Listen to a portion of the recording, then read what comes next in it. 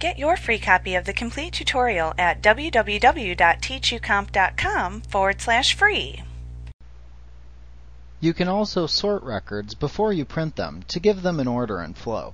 And this is useful if you have merge documents that you have to match up later, like a merge letter in a merge envelope. If you sort both the lists in the same way, you could easily print both items and then match them up since they should print out in the same order. Now to do this, you need to open the merge document you'd like to sort. Then click the Mail Merge Recipients button in the Mail Merge toolbar to view the list of items in the data source. Scroll the data source to the right to view the column by which you would like to sort the data. So let's say we wanted to sort it alphabetically by product name. Click the drop-down arrow on the gray column header and choose Advanced from the drop-down list. This brings up the Filter and Sort dialog box.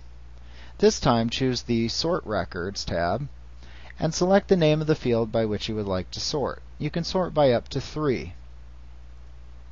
To the right, choose ascending order or descending order, so A to Z or Z to A. And then click OK. And then click OK in the Mail Merge Recipients.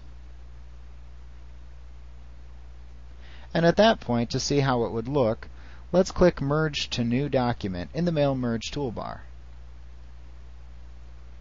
We should see all of our products listed alphabetically by product name, in ascending order. And that's exactly what we've got.